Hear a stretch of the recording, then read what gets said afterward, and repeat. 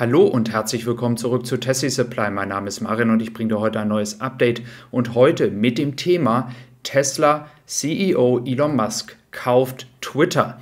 Und darüber möchte ich heute einmal sprechen und möchte hier einmal ein paar Punkte auflisten, in welcher Hinsicht dieses Thema eine Chance sein kann, aber auch ein Risiko. Und da werden wir uns auch mit der Frage auseinandersetzen, wie weit geht denn Meinungsfreiheit? Denn es wird ja sehr oft im Internet davon gesprochen, dass Elon Musk jetzt wieder die Meinungsfreiheit herstellt. Das ist ja auch sein persönliches Thema. Und da ich mich natürlich ähm, extrem viel mit Tesla, ähm, aber auch allgemein in der Elektromobilität ähm, auseinandersetze und dadurch natürlich nicht um Elon Musk herumkomme, ähm, möchte ich hier einmal auch meinen Kommentar zu diesem Thema abgeben. Ja, Meinungsfreiheit ist ein sehr, sehr hohes Gut und es ist sehr, sehr wichtig, dass die Menschen die Möglichkeit haben, ihre Meinung frei zu äußern. Die Frage, die man aber immer stellen muss, ist, wie weit kann das denn gehen mit dem Thema Meinungsfreiheit? Man kann sehr, sehr kontroverse Meinungen haben, aber man kann auch Meinungen haben, die zu Hetze führen, zu Beleidigungen führen. Und das kann man alles unter dem Deckmantel der Meinungsfreiheit natürlich auch kundtun. Und da liegt die Gefahr, wenn es um das Thema Twitter geht. Denn wir wissen alle, es gibt viele Persönlichkeiten in der Welt, die unter dem Deckmantel Meinungsfreiheit versuchen, Menschen aufzuhetzen, Menschen gegeneinander aufzuspielen und dieses immer mit ihrer Meinungsfreiheit begründen. Und da ist halt die Gefahr dessen, ähm, Elon Musk spricht ja immer von der Meinungsfreiheit und ich glaube, das ist die große Angst, die viele Menschen haben. Was ist jetzt die Definition oder was sind die Kriterien, die er persönlich als Käufer von, äh, von Twitter hier als Meinungsfreiheit sieht?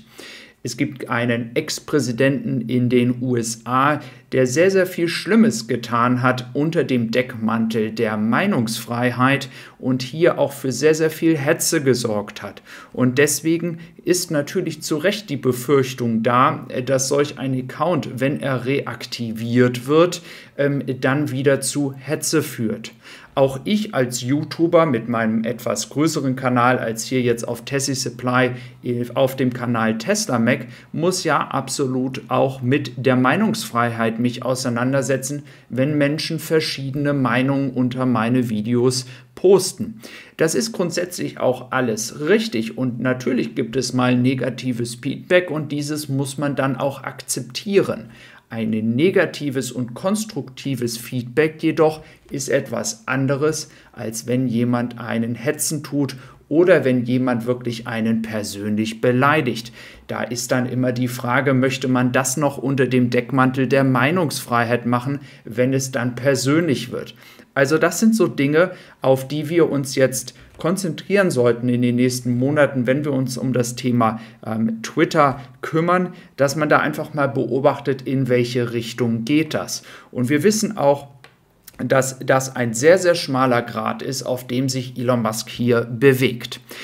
Sollte er jedoch ähm, im Zuge dessen, was er ja auch schon selber in zwei Interviews gesagt hat, sich weiterhin an die Gesetzeslagen halten und äh, hier nochmal zwischendurch auch ganz kurz nochmal Werbung in eigener Sache. Auf Tessie Supply könnt ihr das Giga Sommerpaket kaufen für 15% Rabatt, eine 5er Combo Link oder direkt auf unsere Website gehen, findet ihr das Combo Paket. Also wenn Elon Musk, wie gesagt, hier sich im Rahmen der Gesetze bewegen wird, sprich Hetze, Hass, ähm, Falschinformationen etc., die einfach ganz klar nicht mehr unter den Deckmantel der Meinungsfreiheit fallen können. Wenn dagegen weiter vorgegangen wird, dann ist es natürlich auch eine Chance für Elon Musk, sich da positiv zu profilieren. Natürlich ist das, wie gesagt, sehr, sehr schwer und deswegen bleibt es spannend, was Elon Musk hier mit Twitter machen wird. Es ist natürlich auf der anderen Seite, wenn diese Kriterien erfüllt werden, also ähm, kein Hass, eine Hassplattform daraus entsteht, ähm, ist es natürlich so, dass es auch ein Werbemittel für Elon Musk, für die Marken SpaceX, Tesla und seine anderen Projekte sein kann und natürlich hier sehr viel Aufmerksamkeit kommt, die natürlich auch Tesla als Unternehmen helfen kann.